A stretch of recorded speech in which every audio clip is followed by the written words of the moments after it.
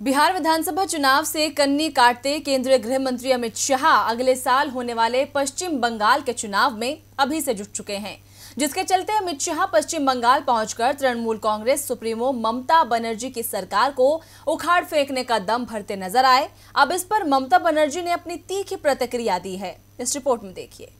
इन दिनों अमित शाह की नज़र ममता के गढ़ पर टिक गई है, जिसे जीतने के लिए वो अपने हर संभव प्रयास कर रहे हैं। नड्डा का दौरा रद्द करवा कर वो बंगाल पहुँचे हैं और सीएम ममता के खिलाफ हुंकार भरी है। केंद्रीय गृह मंत्री अमित शाह ने तृणमूल कांग्रेस सुप्रीमो ममता बनर्जी की सरकार को उखाड़ फेंकने की बात कह दी, जिसके बाद अब ममता बनर्जी ने इस पर अपनी तीखी प्रतिक्रिया देते हुए कहा है कि केंद्र सरकार भी जनता द्वारा निर्वाचित सरकार है।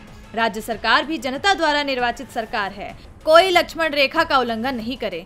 परस्पर लक्ष्मण रेखा का पालन करना चाहिए।